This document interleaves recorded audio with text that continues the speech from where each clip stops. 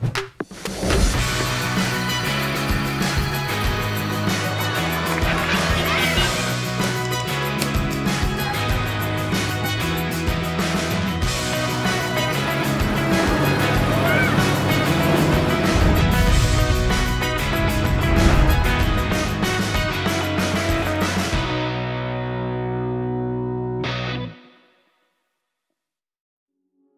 SEL stands for Social Emotional Learning, and here in APS, we believe that it is critical for students and is the foundation for student learning and for student success. It not only supports our students in being successful in the classroom, but it also helps them to be able to do things like engage with their peers, be positive members of their community, and build the skills necessary to be successful in college and the workforce once they leave us at high school. In Virginia, we have Virginia Standards of Learning, and there are SEL competencies, and they align really nicely with Responsive Classroom. Responsive Classroom is a set of structures and practices that build the social emotional learning and autonomy of our students. One of the things about Responsive Classroom as a classroom teacher that I loved was that it went from this idea of extrinsic motivation of let me give you a reinforcer to really building that idea of students as members of a community and taking care of themselves, taking care of each other, taking care of our community, and the power that that instilled in them.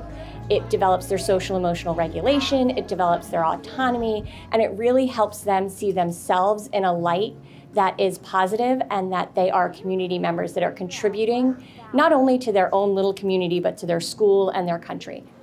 APS is doing a wonderful job of incorporating SEL throughout the entire school. It's not just something that happens once a week or once a day. It is incorporated into every curriculum so that students are learning, reinforcing, and practicing those skills consistently throughout their school day. What we're gonna do is an activity now. So the one I brought with me for us to do today is one word I use to describe myself. And then at the bottom, it says, here's why. So I want you to think beyond the superficial. What describes who you are as a human being? I chose kind and I chose it because I respect people and I don't call people by the names they don't want to be called. Uh, I think that's important because um, if they don't feel included, they'll be like be sad. Tier one is really important because they're things that apply to everyone, and so they're skills that we all need. And especially in a middle school, you're a community. So what you do matters for you, sure, but it also matters for the part you play as a member of the community. So the tier one things that we're doing and presenting for all students really helps to enhance our sense of community and help the students to feel that they're a part of what happens here. And then they can see themselves being part of shifting a culture or changing the way that they interact or their peers interact.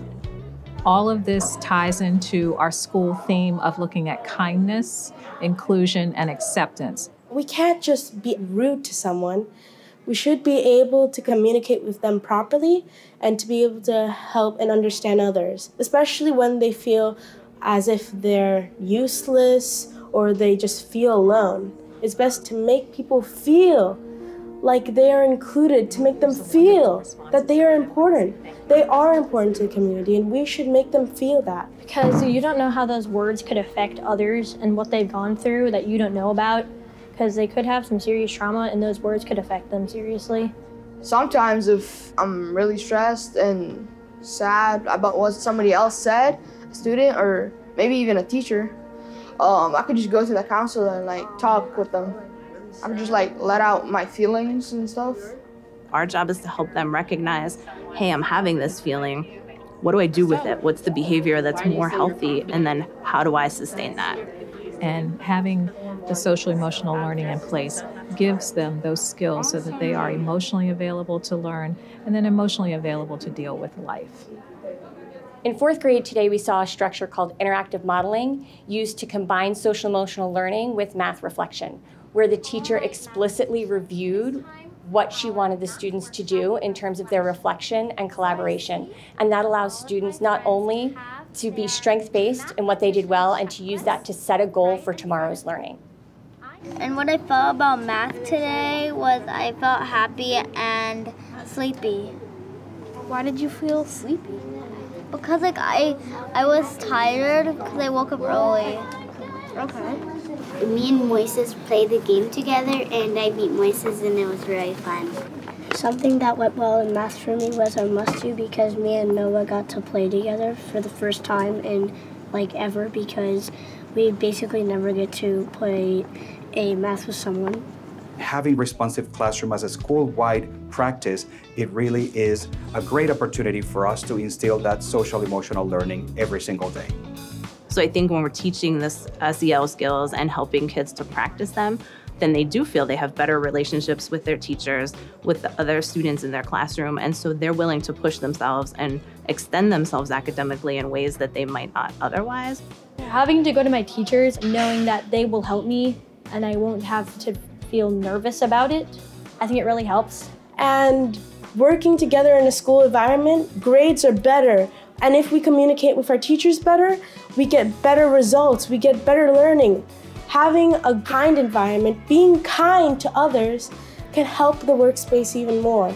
In public education, our job is to help kids become well rounded adults that can go out into society and be productive and contribute. And so SEL is really the tool to get them to develop all those skills we're looking at. So if we start young, those are all skills that we then reinforce every year they're with us. So by the time we graduate kids and send them out of APS, we've got these really solid human beings who can go out and be positive change in the world. Sending a clear, unified message that all students have a place where they belong.